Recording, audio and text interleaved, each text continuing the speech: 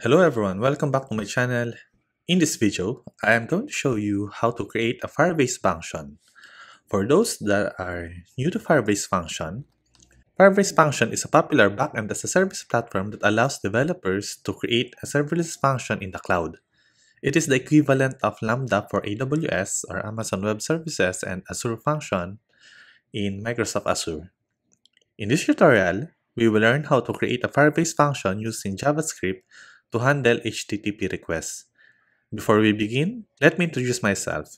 I'm JJ, founder of Tech Preppy, the home for tech-related insights, reviews, and discussion. And if you are on hand for a powerful cloud service that allows you to create a serverless function with ease and you want to try it for free, then you will love this video. So buckle up and get ready to take your development skills to a new heights with Firebase function. Before we start, make sure that you have the following. A Google account to sign into Firebase console, a Firebase project, and a Node.js installed in your computer. So for the creation of Firebase project, I'm going to show you. So first, we need to log in. So I'm going to log in using my account. And now I'm already logged in. So don't worry, creating an account in Firebase is free as long as you have a Google, uh, Google account. So let's click get started. And then now, this is my dashboard for the Firebase. I already have three projects. So in this tutorial, I will going to use this coaching app. We can create a new one or a new project by selecting this add project tile. However, in this tutorial, as I mentioned, I will just reuse my existing project, but don't worry, the steps that I will show you is both applicable if you are going to use an existing project or you will create a new one from scratch. And everything that we will create is still included in the free tier of or free quota of Firebase.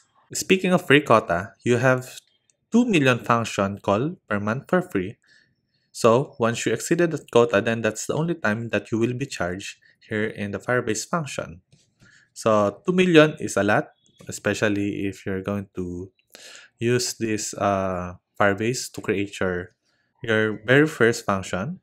So now let's click uh, existing project that I have. Then let's go to build and then select function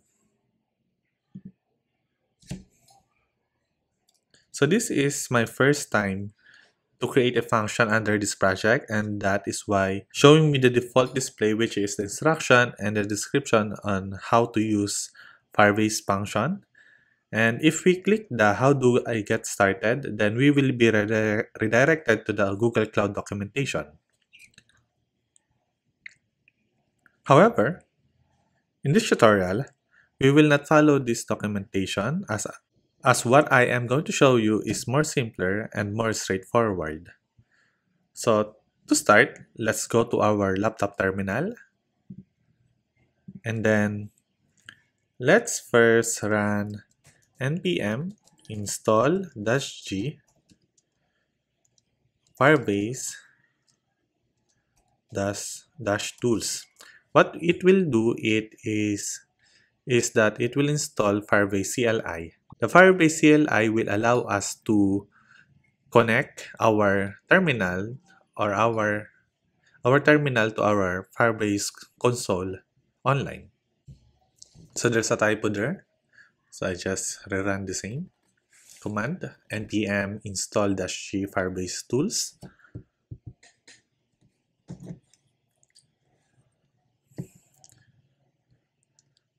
Okay.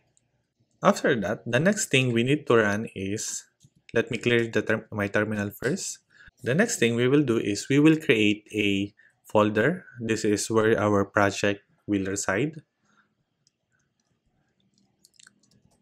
So to create a folder, let's just type mkdir, which is will create our directory. And then let's name it coaching app. Coaching app function. Functions. Let's hit enter.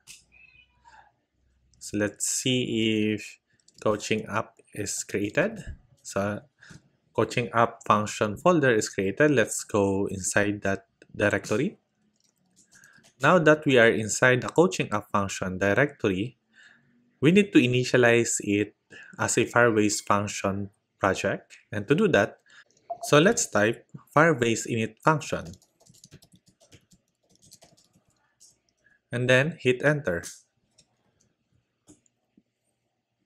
As you can see, it is asking me if I should use an existing project, create a new project, add Firebase on an existing Google Cloud project, or don't set up a default project. So let's select use an existing project. So if this is your first time running the Firebase CLI, before you can get to this point, there's a login, but don't worry, the login is easy. It will just pop up a web browser for you to select the account that you will use to log in. And then that's it. In our case, for this one, let's select use an existing project.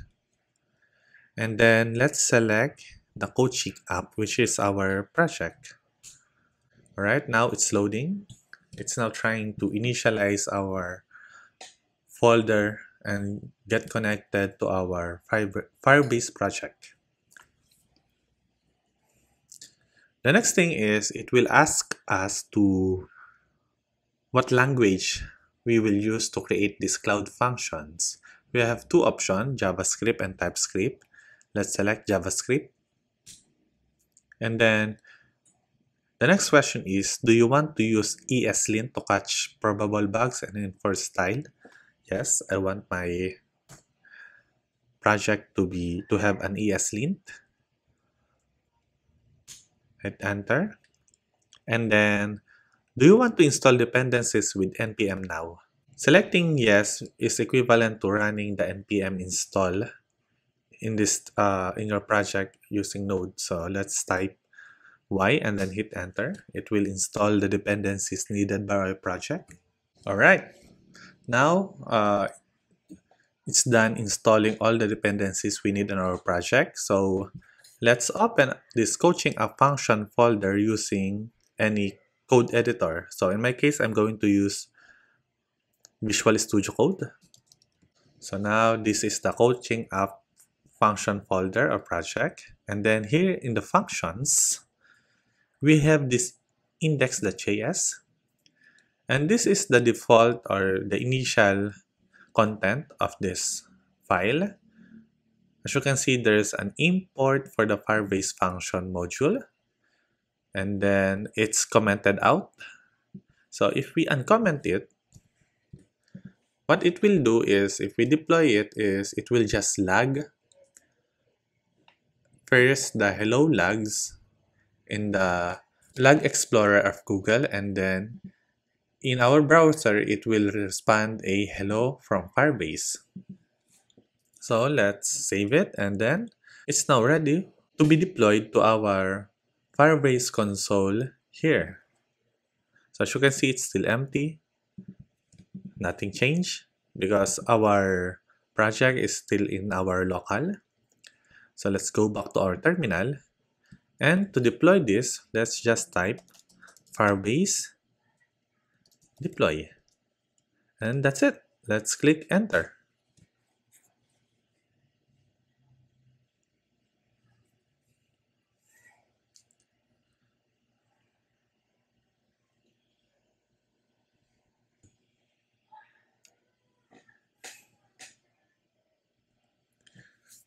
So you will notice that my deployment failed saying that my project should be on the Blaze pay-as-you-go plan. So to do this, it's easy. Don't worry. It, upgrading to Blaze plan doesn't mean that you will be charged immediately. This is uh, still under the free quota. Let's go that. Let's go back to our Firebase console in the browser. As you can see, it is still under Spark. Let's go to upgrade. And then let's select Blaze. And select, I will select my billing account. Let's click continue. I will skip this step. So if this is your first time setting up your billing account, then you might need to, you will be asked to enter your credit card details, but don't worry, it won't be charged anything as long as your usage is under the free quota. So I'm just going to use purchase. All right, now we're on the pay as you go Blaze plan. Let's close it. And then now let's run the project again.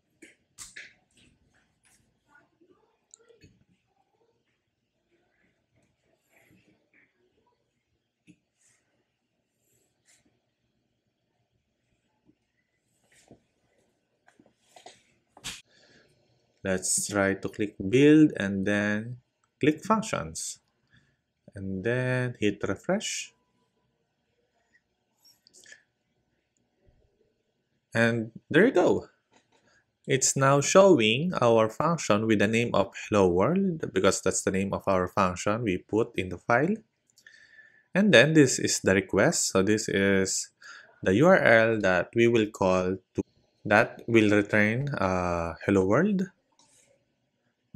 and let's copy it. Let's hover as you can see here it's the version 1 and there's no request yet. And the timeout is one minute.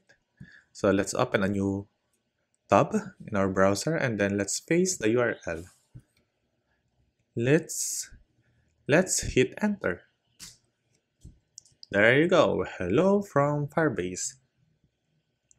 And that's how you create a firebase function. And it's so easy so you can use Firebase function to create REST API for your web application and like a cron job, you can also create a cron job using Firebase function. And then if you want to change this, let's say hello from Firebase, we can just change it to hello our name, hello tech preppy.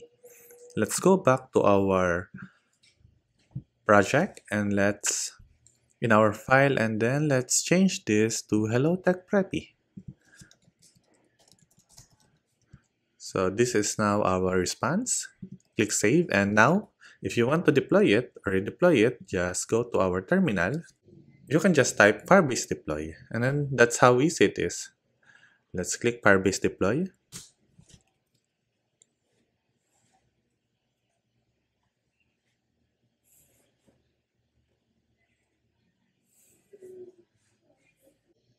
As you can see, it still says version 1 and then we now have two requests because that's how we request before. And then let's go back to our URL and then it's either we refresh it or hit enter. Let's hit enter. All right now it's showing hello tech preppy. And that's it for our firebase function tutorial. We hope you found it informative and helpful in learning how to create your own serverless function using Firebase. With the power of Firebase function at your fingertips, you can build complex functions to handle various tasks such as creating REST API, creating a cron job for your Firebase uh, database, and take your development skill to the next level. Remember to keep practicing and experimenting with your code to continue your growth as a developer. If you have any questions or comments, feel free to leave them in the comment section below. And don't forget to subscribe to TechPreppy for more related insights. Thank you for watching. Bye.